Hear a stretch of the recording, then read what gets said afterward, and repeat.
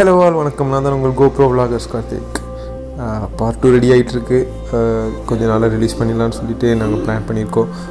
Mostly Monday release ஆயிரும்னு நினைக்கிறேன்.